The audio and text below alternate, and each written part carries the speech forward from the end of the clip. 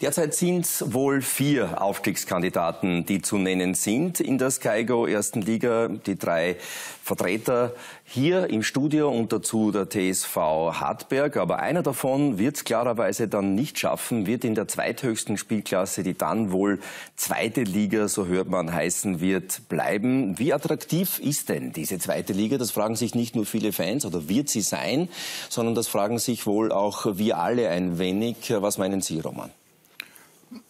Naja, so ganz intensiv habe ich mit dem Thema noch nicht beschäftigt, aber wenn ich mir das anschaue, wenn, wenn ich den Glauben schenken darf, was man so hört, dass die Berichterstattung jetzt von, von Sky jetzt in erster Linie in diesem Ausmaß äh, nicht mehr stattfinden wird. Da gibt es auch andere Kandidaten, die das möglicherweise Ich sage jetzt, ist ja die Sky ja, Go ja. erste Liga jetzt noch, und das ist großartig, das muss man ganz einfach sagen. Ich denke halt, dass das Dankeschön. der Liga den Touch gibt, ganz einfach.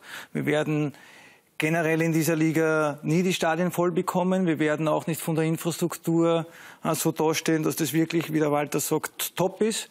Aber wir haben ein, ein, ein äußerst professionelles Erscheinungsbild durch die Medienauftritte. Und äh, mit dem verbunden auch die Chance für die Vereine, Sponsoren zu lukrieren. Das Ganze für Sponsoren, was eh schwierig genug in dieser Spielklasse ist, äh, eben etwas interessanter zu machen für etwaige Sponsoren und gleichzeitig natürlich auch ähm, sind das Einnahmen durch, die, durch den Verkauf der Übertragungsrechte. Und das sind, was ich jetzt weiß, für viele Clubs große Budgetposten. Also in Wiener Neustadt, was ich so mitkriege, ist es ganz einfach so, dass das ein großer Brocken ist, mit dem äh, wirklich viel dann, äh, ja, was halt so an Spielbetrieb an, an, anfällt, äh, dann begleich, beglichen werden kann. Das fällt halt dann alles weg, äh, befürchte ich.